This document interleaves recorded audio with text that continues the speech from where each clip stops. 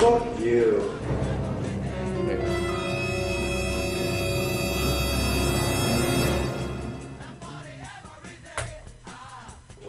Uh, three dollars from Shaman. Damn, such bad timing getting sick just as you are visiting Kappa Keep a forehead and a giggle Twitter Tyggbar status. Yeah.